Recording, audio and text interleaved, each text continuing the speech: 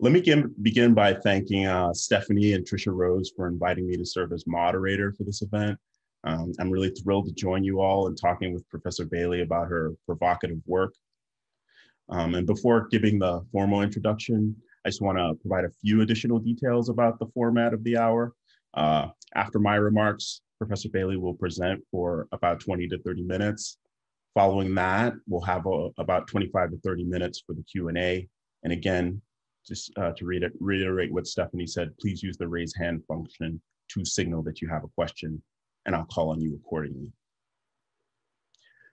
Professor Moya Bailey has established herself as a formidable scholar and engaged public intellectual. She has published widely in academic journals, including Gender and Society, Women's Studies Journal, Souls, and Feminist Formations. Her research has earned her postdoctoral fellowships with the Michigan State University Building Healthcare Collective and the Penn State University Africana Research Center. Alongside this exceptional scholarly record, she has also maintained a highly visible presence as a commentator on television and radio programs across the nation. These impressive accomplishments duly recognized, I'm especially keen to participate in today's discussion of Professor Bailey's new book, Misogynoir Transformed. This work is striking in part because of the judicious way that she acknowledges a debt to an established tradition of Black feminist theory and yet pushes back forcefully against key bulwarks of that intellectual legacy. Professor Bailey aptly reckons with the critique of Black female stereotypes advanced by pioneering feminist scholars like Barbara Christian and Hazel Carby. Yet at the same time, she fruitfully troubles conceptions of womanhood, respectability, and wholeness that have, that have designated the political subject and object of Black feminist inquiry in overly restrictive terms. Her subsequent call for a more expansion, expansive vision of Black feminism is a welcome and exciting renovation. So without further delay then, it's my pleasure to welcome Moya Bailey. Thank you so much, Rolland. That was such a wonderful introduction. And uh, for me, it's such a pleasure to hear how other people understand uh, the work and what I'm doing. And uh, one, I'm so excited that so many people from different parts of my life are here.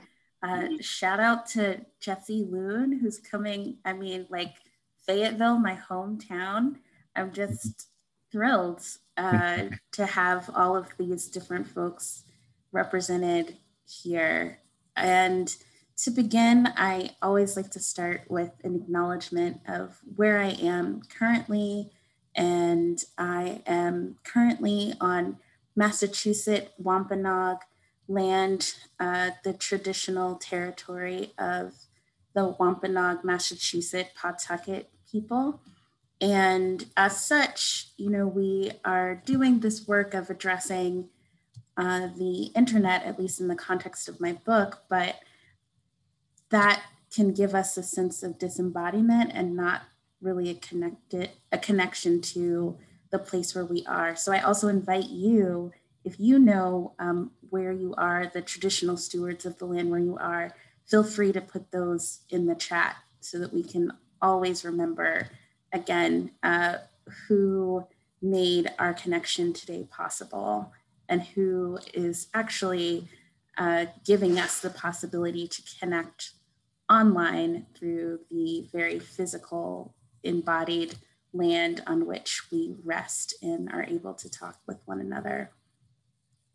So, to begin, I'm going to be reading a bit uh, from the book's preface and introduction. I wanted to give you all a little taste of how the book is coming together and what I hope to accomplish through uh, the book and hopefully give you an opportunity to develop some interest in the book as well. I love that this is being recorded because something I, I said today that is more true to me now is if you are a grad student or somebody who might have the opportunity to need to know the contents of a book, a book talk is a great way to learn about uh, the contents of a book without having to read the whole thing because the author is going to do the work of trying to give you the the highlights and the parts that are most important to them and of course uh, the parts that are most important to me are the beginning and perhaps the origin story of the text so without further ado i'm going to start with the preface although i did not know it at the time I started writing this book as an undergraduate at Spelman College. I was on the road to becoming a medical doctor when two things happened that made me shift course. I fell in love with women's studies, and I got international attention as one of the leaders of a small pushback on campus against the rapper Nelly. Both events profoundly shaped my thinking about the way Black women are treated in society and moved me to coin the term misogynoir, which in turn led to this book. As a first year student from tiny Fayetteville, Arkansas, I was appalled when Dr. Beverly Guy-Sheftall told the Spelman College entering class of 2005 about Sarah Baartman's experiences as a human exhibit in Europe during the early 19th century. Baartman, a young Khoisan woman from what we now recognize as South Africa, was displayed throughout Europe to paying white audiences as an example of the animalistic and inferior nature of the African woman. Implicit in Baartman's display was a comparison between her body and that of the white women who viewed her. European scientists equated Baartman's anatomical differences with sexual deviance, drawing conclusions about her sexuality and subsequently the sexuality of Black women from her form. Her butt and genitalia were used to justify racist and sexualized violence, as well as the continued enslavement of Africans in the quote unquote New World. Dr. Guy-Sheftall explained the exploitative ways Baartman's body was treated in life and in death, and that it was made possible under the guise of objective science. Though what Baartman actually endured was objectification through scientific racism and sexism. In my first week at Spelman, before I had even entered the classroom, Dr. Guy-Sheftall had challenged my thinking by describing the differential treatment Black women experienced on a global stage. After that moment, I knew I wanted to take every class I could with her. I was awakened to the profundity of the unique nexus of experience that is Black and woman on this planet and throughout colonial history.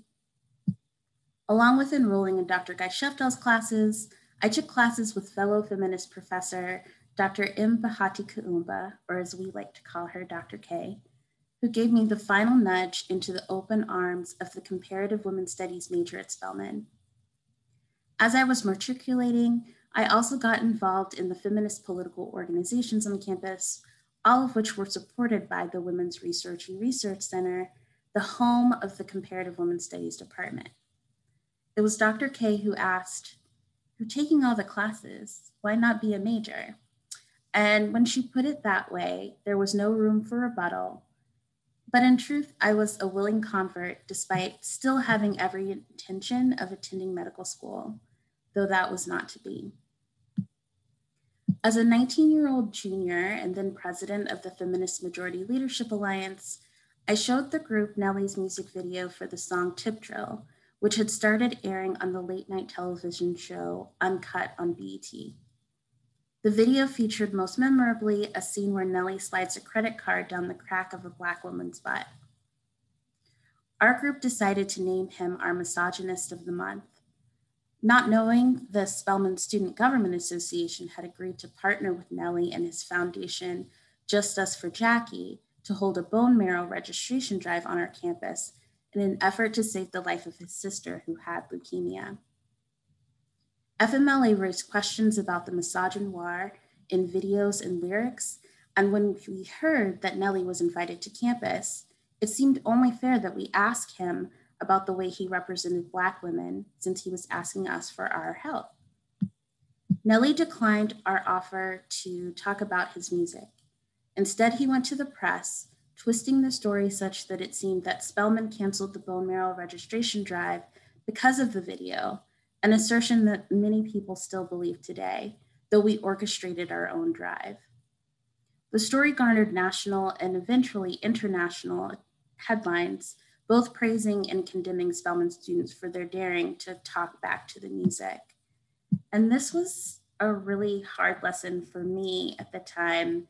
Uh, this was my first experience with death threats. And we can imagine back in this time, this is, you know, 2004, 2005. So this is not social media death threats. These are death threats that are like being sent to my Spelman mailbox, um, my campus email address, which also isn't public. So then there's a question of how do people have access to that?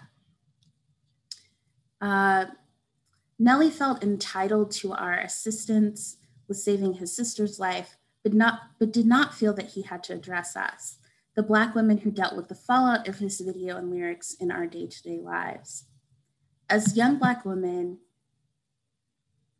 we felt the impact of the video and lyrics in the form of street harassment in the United States and abroad. We dealt with assumptions about our sexual availability to men in the form of unsolicited commentary on our bodies, on our clothing, and on our time. Nelly used his celebrity built on the bodies of Black women to urge people to support an underappreciated cause, the health of Black women. Black women are far less likely to find a matching bone marrow donor than their white woman counterparts, in part because of Black people's deep distrust of systemic racism in medicine, which makes them less likely to volunteer to donate. What was not quite clear to me in 2004 was the irony of using a fame garnered through limiting representations of Black women while refusing to address that decision and also wanting support from those very same women. I wasn't quite able to connect the dots between popular media representations of Black women and my and other Black women's experiences with discriminatory housing practices, intimate partner violence, street harassment, employment discrimination, and ill treatment from healthcare providers. But my interest in the role media plays in shaping the perceptions of Black women became all consuming, such that the goal of becoming a medical doctor morphed into getting a doctorate to investigate the role that media representations play in the treatment of Black women patients by white doctors. I learned about the ways historical popular culture seeped into the consciousness of supposedly objective future physicians, which prompted me to consider how popular cultural representations influence Black women's treatment in society and medicine today. It was in writing that dissertation that I landed on the word misogynoir to describe the particular venom directed at Black women through negative representations in media. How do you describe the ways that Black women are uniquely denigrated because of their gender and race. I played with a couple of terms before landing on misogynoir, and initially the term existed only in my dissertation until 2008 when I was invited to join the Crunk Feminist Collective, an online blogging community of feminists of color. From 2008 to 2013, the CFC dominated the think piece blogosphere with insightful and pithy commentary on popular culture, primarily through the lens of hip hop feminism.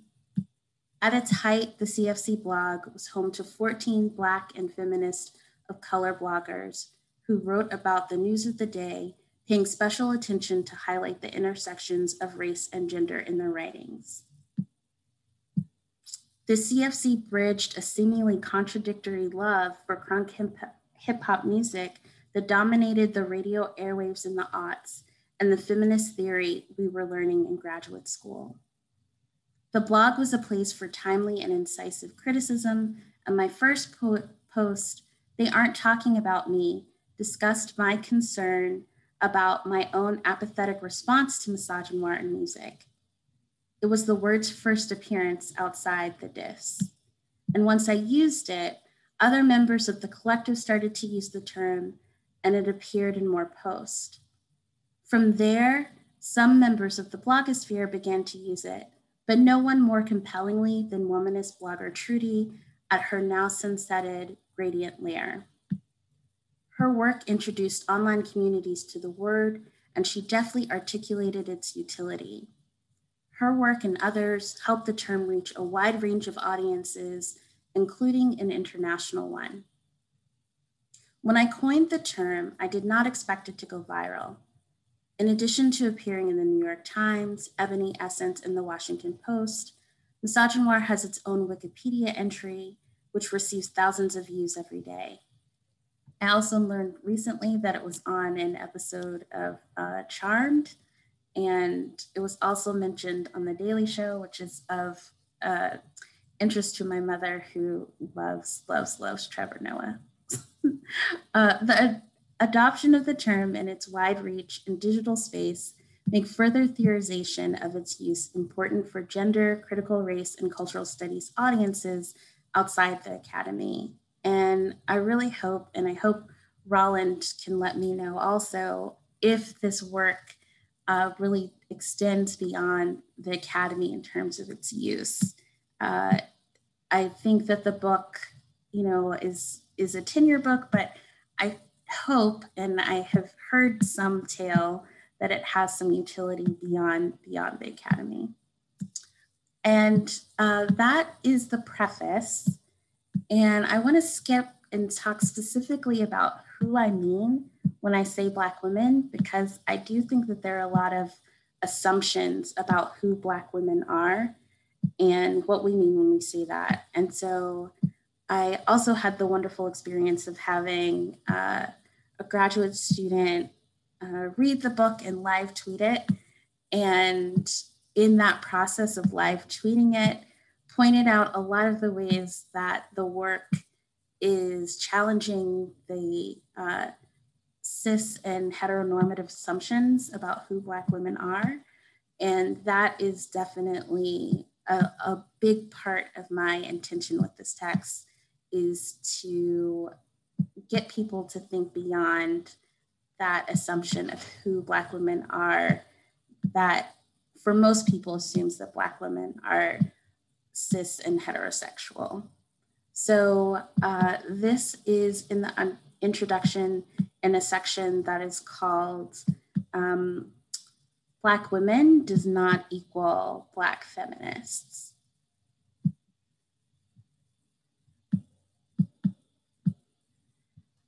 I struggled to come up with language that fully captured who is engaging with this transformation of misogynoir.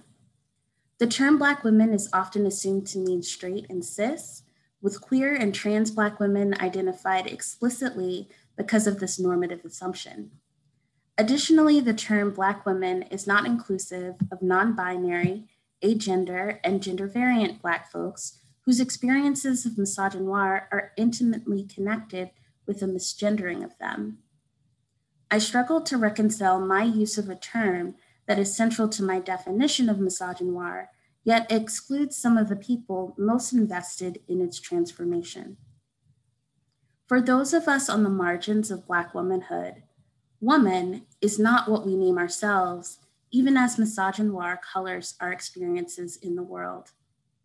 As you will see in this text, it is often those of us in the shadows of Black women who are the most engaged in media projects that transform misogynoir as we in the shadows are already limited by the frame of Black womanhood, we become some of misogynoir's most vociferous opponents because it further diminishes our already limited light. When a hetero and cis-normative understanding of Black women is used, it obscures the realities of those of us in the shade. I experimented with terms to describe those of us on the margins of the margins of Black womanhood before landing on misogynoir. Digital spaces are rife with words, phrases, and terms that attempt somewhat, sometimes awkwardly, to address the slippage between women and all who aren't cis men. One of those terms is non men, which centers men as it attempts to define those of us who are not. Non men is used online as a catch all term, but its use recreates the exact erasure it wants to undo. Women with an X, sometimes a useful interlocutor when it's with its roots in pre-colonial indigenous languages and contemporary decolonial lingual practices. The X in women intervenes in the racist colonial histories of English and Spanish, while also attempting to solve the problem of genders beyond the man woman binary. That is a lot of work for one letter to accomplish. However, even as women with an X, by definition includes gender, non binary, agender, and gender variant people who don't identify as women, reading the term in text does not make those communities readily apparent. As S.A. Smythe asks in their article on Black feminism slippages with the terms feminist and woman, who's all over there in women with an X? When a term is created to encapsulate those outside or alongside the term Black women, another erasure can occur. Similarly, the phrase women and femmes has been used in social media spaces to make space for those who are not women but may find themselves hailed by the term femme, which also has contested meanings. But women and femmes doesn't quite capture all the targets of misogynoir. There are masculine of center, agender, and non binary people who experience the deleterious effects of misogynoir and who may not identify as women or femmes, as Sakia Gunn's murder unfortunately illustrates. Similarly, not all non binary Black femmes experience misogynoir because they are not read as Black women in public. For some femmes, homophobia and femmephobia might be the lens through which they become targets of violence. Black femmephobia is an important form of oppression to discuss but it is not a synonym for misogynoir. Misogynoir is deployed because of beliefs about Black women, and those of us who are read as Black women, despite our self identification, get caught in the crosshairs. And this is a call that I make in the text and how I want to um, end my opening remarks and and get us into the talking more about the book itself. I challenge you, dear reader, as you read this text, to think of Black women first when you see the word woman, to think of queer and trans women first when you read the term Black women. When you read the term Black feminist, do not assume that it is interchangeable with Black women. For as this text and others I reference make clear, not all Black women are feminists, and not all Black feminists are women. The projects and people I highlight in this text do not fit neatly into either category. Much like the media they create, these people are not easily slotted into a box labeled feminist or women. Many of the Black women and Black non binary, agender, and gender variant people I discuss have dynamic relationships to the labels. They are, there are feminist elements to their work, though the work itself may not be feminist. They may have identified as a woman at some point, but not at the time I examined their work. What they all do share, however, is that they create digital media that center and uplift the experiences of Black women and girls, trans and cis, as the primary targets of misogynoir. Black Women, in the title of this text, affirms Black women's centrality to the project of transforming misogynoir, even when it is not Black women or Black feminists who engage in the production of transformative media. To say the same another way, not all these Black digital alchemists are women, and not all of them are feminists. Black non binary, agender, and gender variant folks are often invisible in data collection processes, making their realities marginal within the already liminal space of Black women's digital alchemy. Nearly all of the data collected for this book assumed the category Black women is capacious enough to address misogynoir, but as I will detail in chapter four, Black non-binary and gender variant people are also on the front lines of the Black feminist transformation of misogynoir. As you have read in this introduction, Black women have been the central targets of misogynoir since the settling and colonization of the Americas.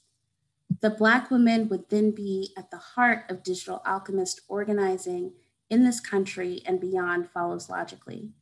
But as we continue to grow our understanding of the gender binary and our digital age helps new language travel, more and more Black people are articulating themselves beyond the bounds of woman. And I will stop there and turn it over to Rolland. Thank you so much. All right, thank you so much. Um, okay, now we're gonna transition into the question and the answer section. Um, I just would like to say a couple things. Um, I, I, want to say that I'd, I'd like you, you to sort of uh, restrict yourself to one question since we have a large group here. Uh, and please try to uh, be as efficient as possible in, in posing your question. Again, just for the sake of, of time, given the numbers that we have here. So uh, Rolland is Rolland is saying, ask a question, don't make a comment.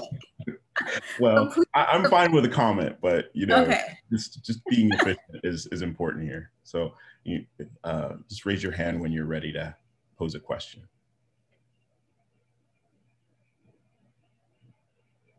Okay. Is it uh, Shauna Leith? Yes, it's Shauna. Yes, thank you. um, Dr. Bailey, okay, being succinct. And so I'm in the counseling, kind of counseling, psychology, and education. And one thing that I've been wondering, and my students have asked, and our viewers have asked, is kind of where does misogynoir fit in in relation to gendered racism and some of the literature on like gendered racism and Black women, right? And so I don't see the terms as interchangeable per se, but just wanting to hear from you about, you know, have you thought about that? Has that been posed to you? Is that addressed in the book?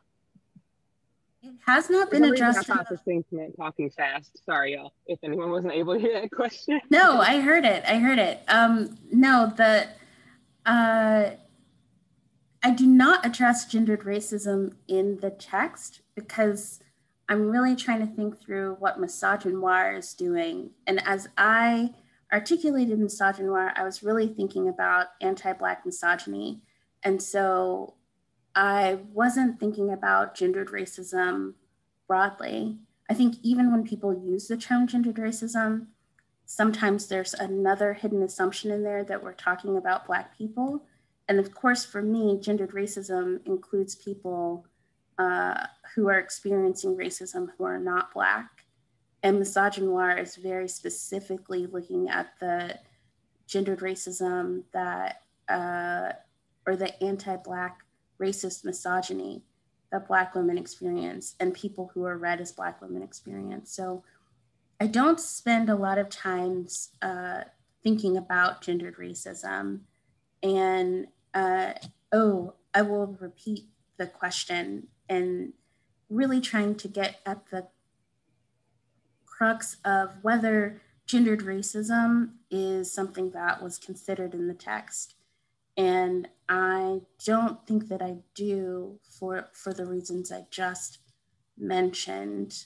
But also, I think gender racism as a term or how people were thinking about it was coming alongside as misogynoir was developing. So I see them as parallel, but not the same. Great. Okay. Um, Liz Alexander. Hi, Dr. Bailey. Uh, this was a great talk. Thank you so much. Uh, and I was an early CFC reader, so it's really exciting to see like how uh, your work has transformed since then. Um, my quick question is, uh, how do you think that uh, working in that digital space transformed this word? Um, like, uh, you know, if, if, there had been no social media, you know, in that parallel universe, how do you think that the development of this word in this community would have been different? Uh, thanks. Great question. I mean, honestly, I think it would have just stayed in my dissertation and no one would know misogynoir. I honestly think that uh, being a part of the CFC and then having uh, Trudy pick up the word and term of misogynoir made it accessible to a broader audience and made its significance um, more clear and apparent to people because it was happening outside of the academy. And when I think about other aspects of my intellectual work that are very much siloed and you know behind that paywall that we have in the academy. It becomes clear that social media and digital media creating work that integrates with communities beyond the academy is important. And again i think it's something that is interesting to me is that I created the term as a graduate student and was writing about it publicly as a graduate student. And I think that's another way that it was more accessible to people. There's been an interesting revisionist history where people will say, you know, misogynoir coined by Dr. Moya Bailey. And I was not Dr. Moya Bailey when I coined the term, which is also, again, why I think it made sense for other Black women and non binary, agender folks to pick it up because it wasn't seen as somehow belonging to the academy in a way I think it might have if I had already um, gotten my doctorate. And that loop from the dissertation to the blog, uh, it moving in a lot of digital space then being picked up again by the Academy in terms of uh, finding itself into journal articles has been a really interesting uh, circuitous route to watch uh, because I don't think that uh, the Academy and outside of the Academy always play very nicely together. But it has been my real um, I don't know, and I've said this before too, that it's both a gift and a curse that people find the word so useful. Like a gift in the sense that I'm I'm glad that uh, it has been helpful to people to use, but also unfortunate that it is used so frequently. So it is a uh, a really interesting route that social media made possible, and I don't know that it would have made uh, I don't know that it would have been as clear if um, social media wasn't involved in its circulation. Excellent. Great. Um, the next question, please.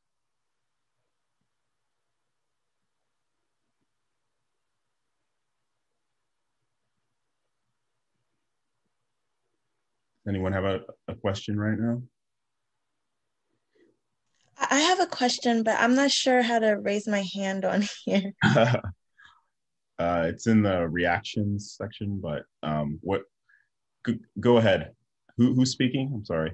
I don't have my camera on. I'm Danny. Um, I just uh, sent uh, Dr. Moya Bailey a private message. Thank you. This really provided a lot of clarity on my battle with gender, as I already sent to you. Um, so, would you say that? The term would you say that because um, you talked about how women in femme is not a good grouping because it leaves out a lot of people in their experience their violence they experience and i totally agree and i haven't been able to figure out how to word it so thank you for for that clarity. Um, so would you say then that um, saying those who experience misogynoir um, is a better grouping of words to to to to explain the battle with you know, anti-blackness and things? Oh, great question. And I, I think that we're gonna need more ways of explaining it. I think that's a wonderful frame. So like those who experience misogynoir are the people that we're trying to hail in a certain conversation. But in another conversation, we might be trying to hail, you know, people who were assigned female at birth. You know, we might be trying to hail um, you know, people who identify as women specifically. Those are the people that we're trying to talk about in whatever conversation or invite to uh, be a part of a conversation. So for me, I think it's very specific and that we should be as rigorous about who we're trying to call into conversation as we are about policing people who you know aren't using the proper terminology i think that it it's on us to be more um more clear about where and who we want to and understand as our uh, folks in solidarity regarding the conversation that it is that we want to have.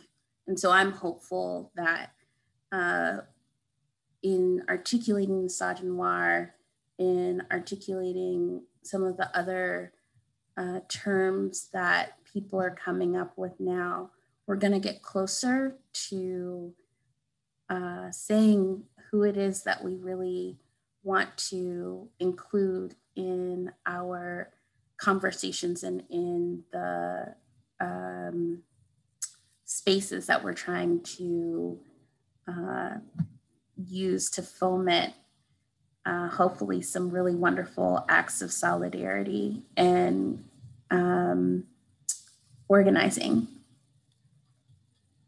Thank Okay. you. Thank you. Fabulous. Um, the next person is uh, Bintu Diara. Hi, can you hear me? I'm sorry, I'm in the car. Okay, um, first of all, thank you for your work. Um, so you discussed um, the usage of the term misogynoir and all that it kind of like encapsulates when it comes to those affected. In the book, do you ever get into why certain groups of Black women are left out? And can you say why certain Black women are left out? Do you, can you say what you mean? Who do you Like why historically, um, when we think about Black womanhood, why we exclude trans Black women, queer Black women, um, things like that. Oh, yes, yes. Thank you for that question. So the question was trying to figure out why certain Black women have been traditionally excluded from the term Black women. And so, yes, I do talk a bit about historically thinking about the relative recent uh, language that we have to describe sexuality and gender. You know, we have even the language of trans is relatively new in terms of how we understand gender, even though trans people, of course, have been throughout history, throughout cultures. But that language is also new. And I'd also add that it's new to uh, talk about people in relationship to their sexual identity and their gender identity. This is also, I think, a product of the West in some ways, that those uh, habits, behaviors have cohered as identities. And that isn't true all the time everywhere. Uh, one of my favorite um, scholars is Gloria Wekker and her work about um, the practice of Mati work in Suriname really expands and opens this idea of, you know, queer sexual behavior, not as an identity, but as a practice.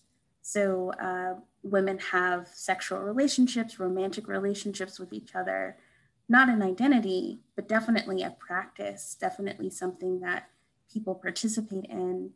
Uh, but the idea of identity, uh, I think, as the way we understand sexuality and gender is, you know, in the last hundred years or so in terms of human existence.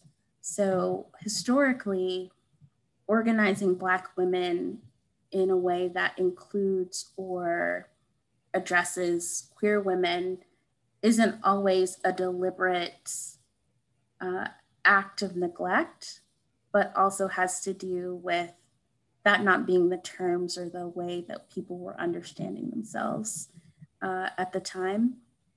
And there are really beautiful histories, which I wish we had more of publicly, of you know Black queer women and men's relationships um, post slavery in the Americas, and those relationships being valued and treated, you know, positively in their communities.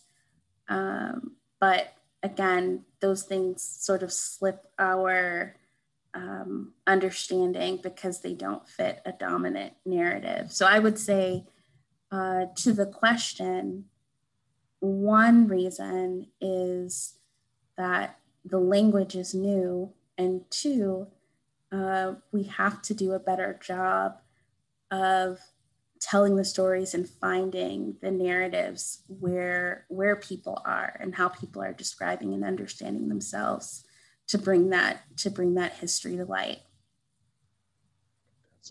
Okay, uh, Talik Tillman. Um, just thank you eternally um, for your words and your time and energy. Um, and my question is for like in your own experience when engaging with people outside of the academy who might not have the terminology or the lexicon or no kind of detailed histories um i just am wondering um how um you work with rather than working for or um against um people who might not have the same developed understanding of these histories as you um yeah, great question. So I would say, um, I would say that one of the ways that I think I try to break down that barrier of people not having access to certain terminology is to define my terms when possible. And then also to show that the terms themselves um, do some important work. Like I think naming misogynoir was important, but I definitely see it in a legacy of things that Black women have already named for themselves. So I talk about misogynoir as having a history related to uh, concepts that were developed in the writing of the Combahee River Collective, uh, connected to concepts and theories that were attributed to Sojourner Truth's speeches. There is a legacy of addressing misogynoir by Black women in all but name that predates my coining of the term. And I think that's true of intersectionality. I think that that is definitely a, uh, a legacy that I hope people can come to understand the word in uh, definite conversation with. And I would also invite people to use and understand their own experiences as an important site for understanding a lot of the concepts that I'm bringing up. Uh, one of the examples of this that I really like that comes from people who do prison abolition work and transformative justice work is they give the example of being at a party and uh, having a friend who wants to who's been drinking too much and wants to drive away and like you making the decision to grab their keys and not call the police. That's an act of everyday abolition. You know you're not going to allow your friend to drive drunk um, that little act of resistance is abolition, even if people don't use that term or maybe understand all of the nuances that people are trying to get to when they talk about prison abolition, defunding the police, etc. So I think there are other examples like that of everyday people's experiences that explores and shows how misogynoir has impacted their lives, whether they have access to that term term or not. Okay, uh, I believe uh, Jorge has a question. See there? He, he, he wrote in. Um, maybe we'll turn to that later. Is there anyone else with a raised hand that wants to? Oh, sorry, my mic was off. Sorry. Oh, okay. Okay. Sorry about that. Thank you, Dr. Bailey, for the discussion. Um, my question is, have you faced opposition from trans exclusionary radical feminists for including Black trans women in the misogynoir definition and discussion? And how do you navigate this? Oh, that's a great question. I have been very fortunate not to have to deal with too many TERFs, given my own uh, expression and orientation. So the question to repeat it um, is: Have I had to deal with trans exclusionary radical feminists uh, resistance to trans women being included in my term of misogynoir. And I would say I haven't had to deal with that too much, especially since I'm really clear that, you know, trans women are women. So it's like not even, I feel like it's not even a question because women are women. And also part of the, um, one of the one of the real gifts of the book for me and how it actually evolved and emerged was in being connected to Janet Mock on Twitter very early in uh, when Twitter, when I would say Twitter was just a wasteland, when there were like maybe you know a hundred or so people that I talked to regularly on Twitter. Uh, when it was so small and nascent.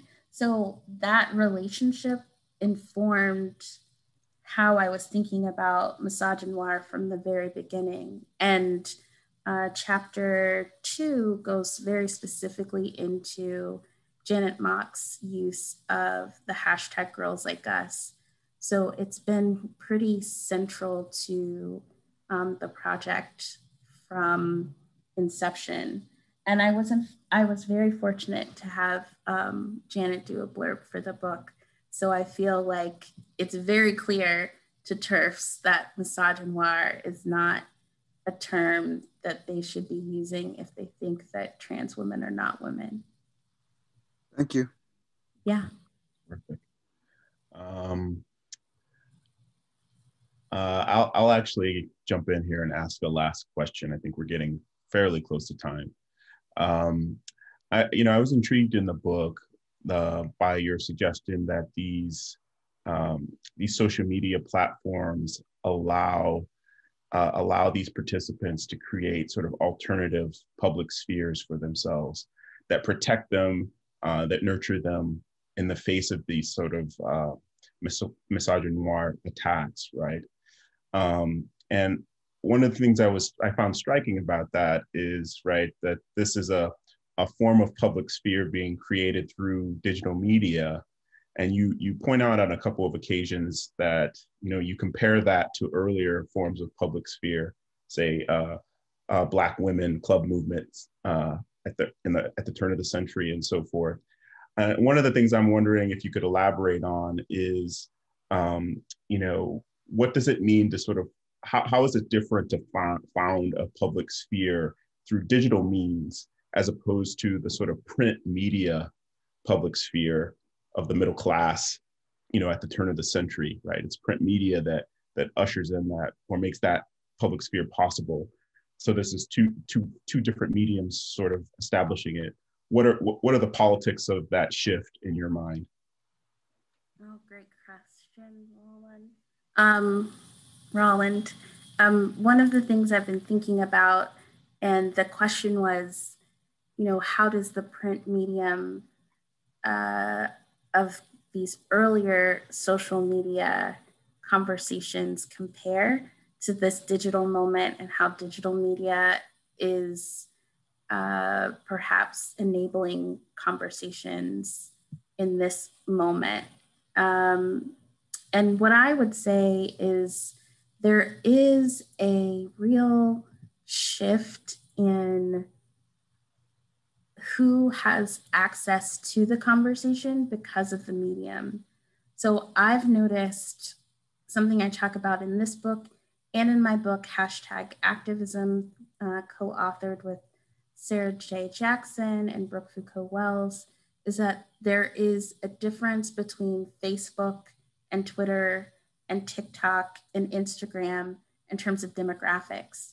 So the kinds of conversations that people are having on all of those different platforms varies because of the age and um, class position and means by which people are accessing these tools.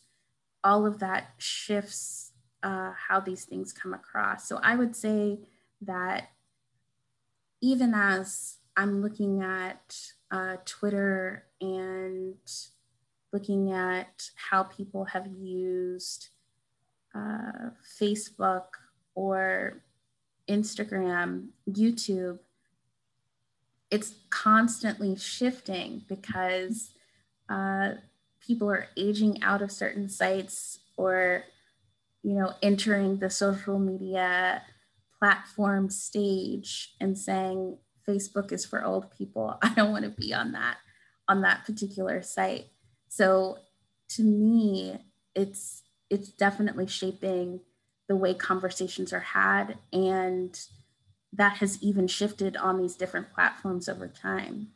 I don't think that um, the connections that I made with Janet Mock in my early Twitter days would have been possible now because of how the platform has shifted, how people have become brands. Even the language of followers is very interesting to have developed this idea of influencers uh, part of the book is a little bit of a love letter to those early digital uh, media days of Blogger and LiveJournal and Tumblr, where I felt like people actually read people's work and were in conversation with each other.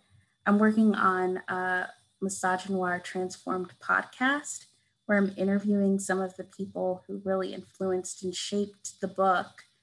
And one of the things that they have said to me was that, um, or Maya Williams, who is one of these early adopters of these platforms who has been really influential, was to say that it was like writing letters, like a bit like a pen pal exchange uh, in those early digital days, and that social media is not that anymore and I, would agree with that. I think we have shifted and moved into a different era, and unfortunately, it doesn't it doesn't look the same. Oh, you're you're on mute. We've got uh, maybe time for one quick one. Um, Michelle is next. Hi, Dr. Bailey. This is Michelle Ferrier. Good to see you again. Been a couple of years. Um, I wanted to speak specifically about the technologies and the platforms and wondering whether you and uh, your partners have talked to the media platforms themselves regarding some of the violence through algorithms and the ways in which those platforms are uh, shuttering the accounts of uh, Black activists online who are performing using these technologies. So, what are some, um, have you had those conversations, and what are some of the strategies that we might employ when the platforms aren't listening to us in our efforts to uh, change the algorithmic um, violence? Thank you so much for that question.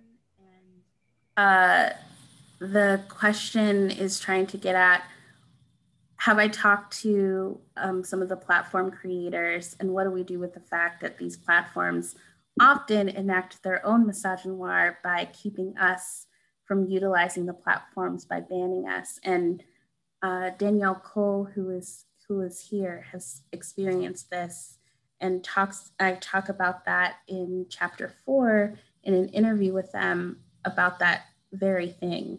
What happens when we are trying to use platforms, but the platforms themselves are enacting um, some of this violence. So, one suggestion is that we need new platforms. So, even as we are using the tools that are given to us, I think another thing that we need is to create our own tools.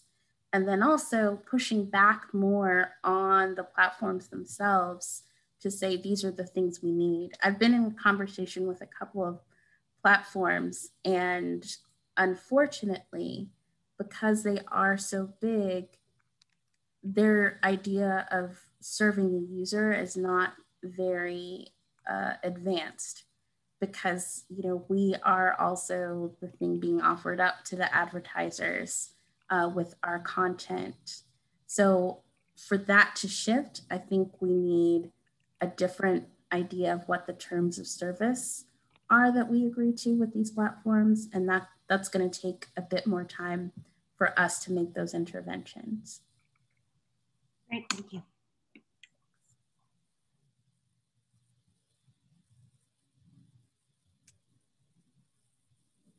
sorry. I'm sorry. I think we're sort of running up on time here. Uh, so I would just like once again to thank uh, Professor Bailey for uh, being with us today and for her wonderful work. Uh, you can join me all in uh, giving her a, a, a, resounding clap with your uh, reactions here. Um, and that will that will conclude our, our session for today thank you all so much for for for joining us today. It's been a wonderful uh, inaugural event for this reading series. So thank you all.